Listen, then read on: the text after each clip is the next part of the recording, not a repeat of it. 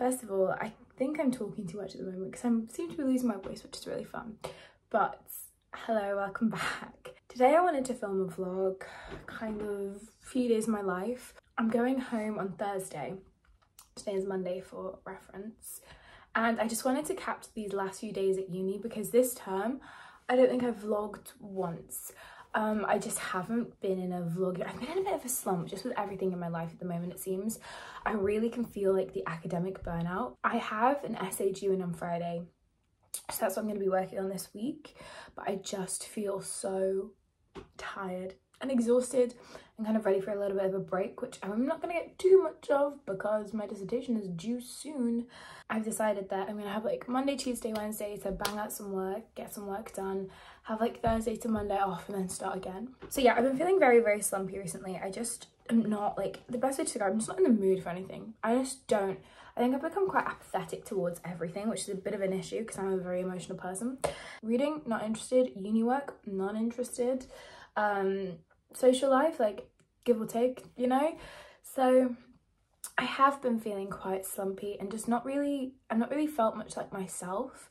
Well, I have, but like, it's very hard to explain. I have felt like myself, but also like not in a usual way. Like, no, like normally I love to, like, you know, I read all the time and because I'm not reading, I'm not creating content. And also I've not got time to create content because of uni. So like the social media portion of my life really has just been really, really affected. I thought we could have like a day together, kind of going into the library and then we'll come back and do some reading. So I'm currently reading to try and get up this reading slump that I'm in because I'm also in a massive reading slump. I just don't, I was reading tomorrow and tomorrow and tomorrow I've DNF'd it, guys. I'm going to be so honest. DNF'd it. I just, like, took it out with me yesterday to go and get coffee and read. And I thought, you know, it was a lovely day.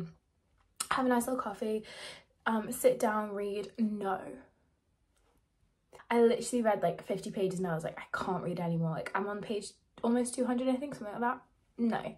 I decided to pick up a silly romance because I thought, you know, trying to get back into it. Sometimes you just need to go back to basics. Because I've been reading a lot of... um classics and a lot of heavy books at the moment so I want something light.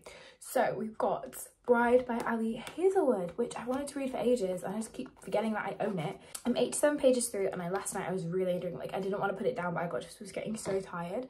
So I'm excited about this one. I feel a good vibe about this. But yeah, hope you enjoy this vlog. It's um I feel like it's like a this is 20 vlog in a way with a hint of reading. So yeah. Okay.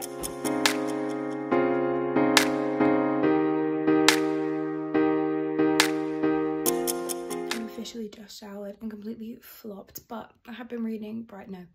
Let's do a rundown whilst I look like this. I do. Um, I went to the library. I managed to do some more research for my formative, which is makes me very happy. I then did 500 words of my 1000 word formative, which was my goal for today. So that means tomorrow I can finish it and then Wednesday edit it and send it off, which is perfect.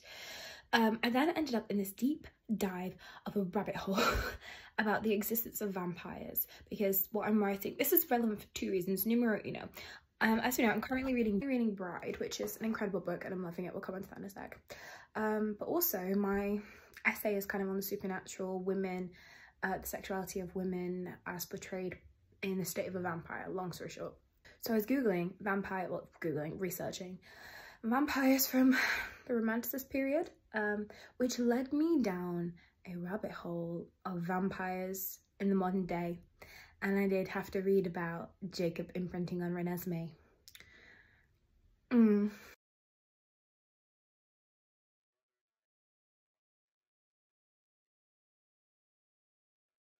I literally realised that I didn't vlog anything. So me and my friend Holly, you will know her from the vlogs, we watched, we're watching The Bear currently. We just finished season one.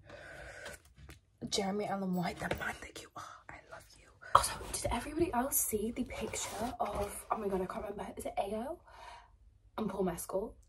Everyone's like, they're gonna be, they're gonna be in Beach Read as the two main characters.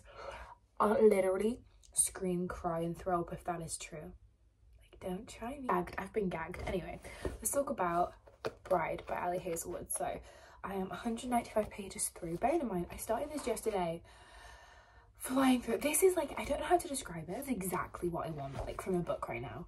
This is giving me everything. It's giving slight fantasy element. As we, if you don't know, if you've not been here, if you're new, hello, I'm Dais. I have an obsession with vampires. Like, hit me in a werewolf. I'm not into werewolves. I don't really like them. They're not my cup of tea. I'm Team Edward to my core.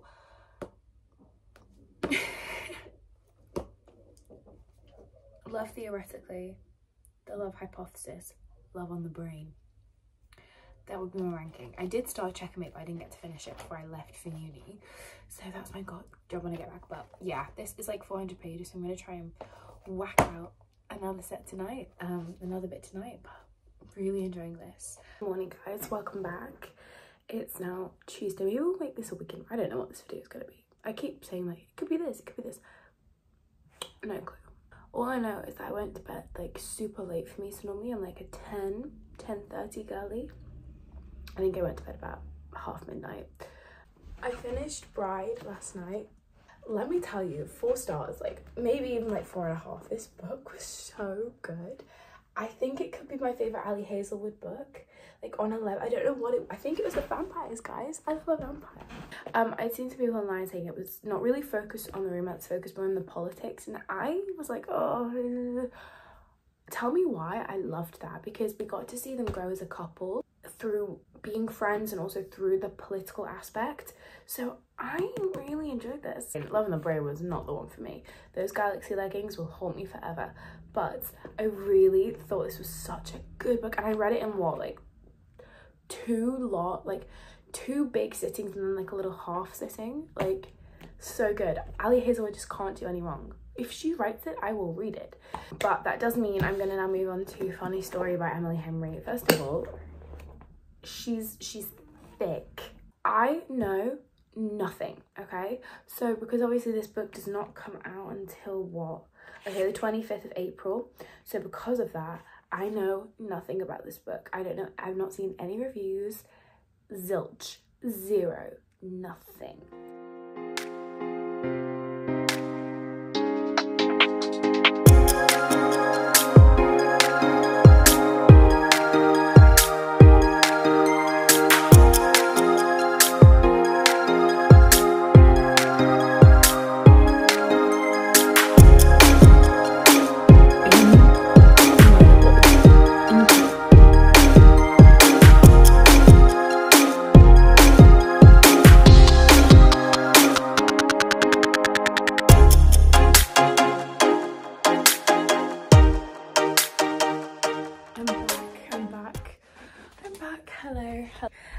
Guys i'm back now. Basically i was getting a little bit like hmm i need to do something with my life. I need to go out. So i just went to the minster gardens which are really lovely especially around this time of year. Like they're so lovely. The trees are all blooming. I'm on page 173 now. It's so good it's like it's very clear that there's like this attraction between them. It the in the same breath they're very much like you know let's just kind of take it slow. Let's just be friends. Like we've just got to have a breakup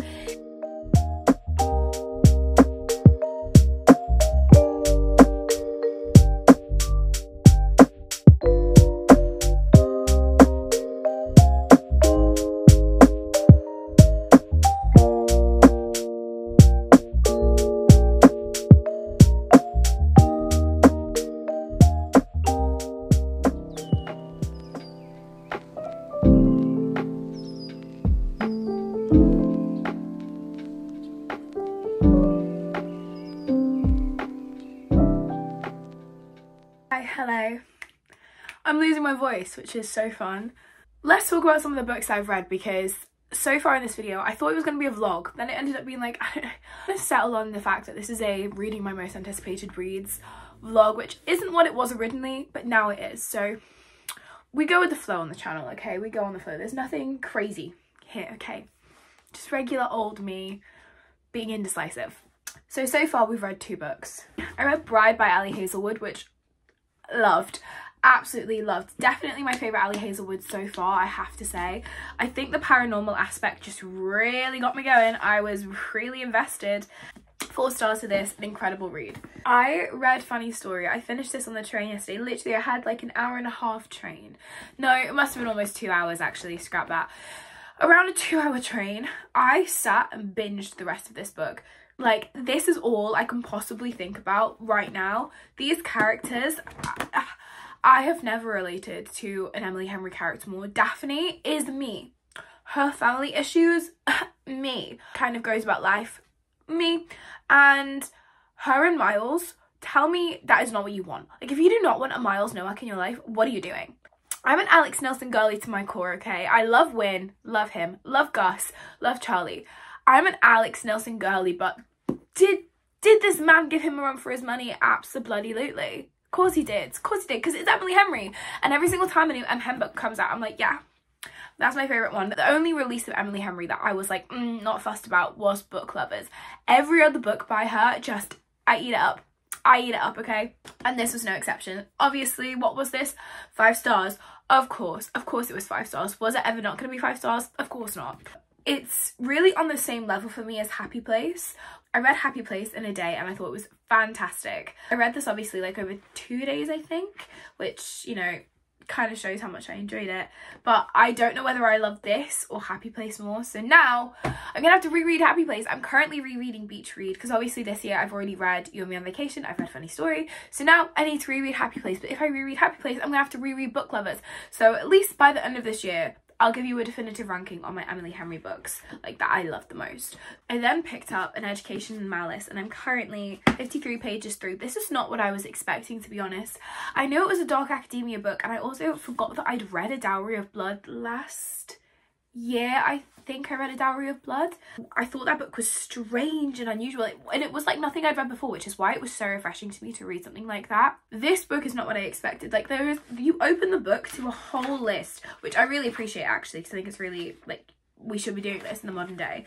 Um, there is a whole list of trigger warnings in this book and I was like, oh, I didn't just didn't expect that. Um, so far I've not encountered any of them, but I am enjoying it. I think this is like, I was so, this is one of my most anticipated reads for the year purely because I just got told it was like dark academia literature vibes. Like they do English lit, like they, they do poetry and obviously, hi, I'm Dais. I study English lit and I want to for the rest of my life. And I'm just really enjoying it so far. It's reading so nicely. The pro, it's it's like reading prose or like, it's like reading, uh, it's like lyricism poetry.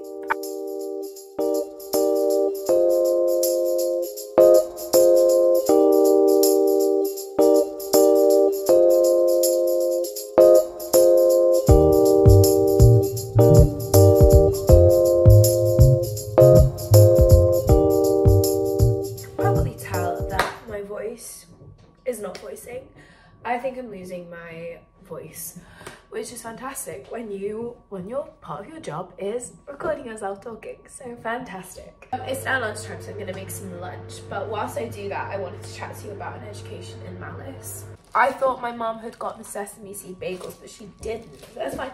It's fine I like these bagels. I'm gonna be so for real with you. We've just got to a point that has completely thrown me off. Um, I did not know that there was like a paranormal, fantastical element to this book. I thought it was all real vibes. Then there was a scene where one of the people started doing something and I was like, that's really weird, that is really weird. And then it got contextualized and I was like, oh, oh, so this is the route we're going. I didn't expect it. So ever since then, I'm not gonna lie, I've been a little bit like, er, you know, interesting for sure. Hey guys, it's a little bit later now. Um, I had lunch.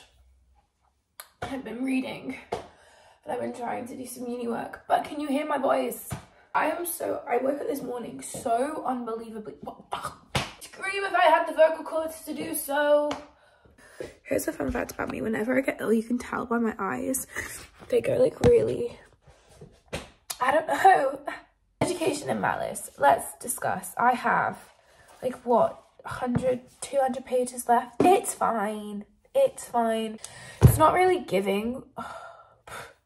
It's not really giving what I want it's giving. I'm also so distracted because when I'm ill, like all I do is doom scroll, which is just terrible and I don't recommend it if you're going to write a book about vampires, I need to know it's about vampires, right? Because I'm a vampire girly. I think vampires are the coolest fantastical creatures, to be completely honest. Fantastical, like, myth being, whatevs. Uh, I have to be informed about it, though. Okay, I need to be informed that there are vampires in a book, so I know what I'm getting myself into. Because now, I don't feel, because now I thought it was a realism book. I don't believe, I don't believe the vampires. So that's my, maybe that's on me for not reading the blurb and the synopsis and just knowing it was a dark academia book, but Hey guys, guess who's ill? Yesterday I was dying, like dying ill, which is not fun. But I ended up just watching, um, what did I watch? Brave. And I watched A Rainy Day in New York as well. You can probably, like, my eyes are terrible. But I'm about to read, hopefully finish, An Education in Malice. I've got like 110, 20 pages left. I don't know how I feel about this. I probably would DNF it if I wasn't this far into it. But we'll see what my rating ends up being. You know, it can't be five star reads all the time. Hello, I'm editing the video right now and I realised I never gave you an update on an education in malice. Here she is. I have lost the dust jacket. So we have just got the bare, bare hardback. I ended up rating this two and a half stars. It was fine. It was a little bit less than fine, to be completely honest. I think the introduction of the vampires really threw me off because I didn't expect it. So maybe that is my fault, you know, because I didn't expect them to be there. I probably should have read into it a bit more. But I also think the fact that I went into this book blind and I had no idea that they were going to be in there, it just felt because of the vampires, it lacks that like believability. You know, you could read like a high fantasy book and still believe the characters like Throne of Glass, for example, and that's all fantasy, not real, etc, etc. But for some reason, this book she didn't hit like i just didn't believe anything that was going on. And also i didn't like the characters. I thought the characters were really boring. The author tried to make them really three-dimensional and instead it completely backfired and i just didn't like them. They didn't feel very complex to me at all even though again the author kept like drilling it into us that they were really complex characters and they had a lot going on i didn't i just didn't believe it and i didn't like it so i gave it two and a half stars. A little bit of a letdown, but considering this was one of my most anticipated reads and I'd seen such good things online. But hey, everybody's reading taste is different and I'm glad I read it because now I know how I feel. Thank you so much for watching today's video. I will see you in the next one and I hope you enjoyed. Bye!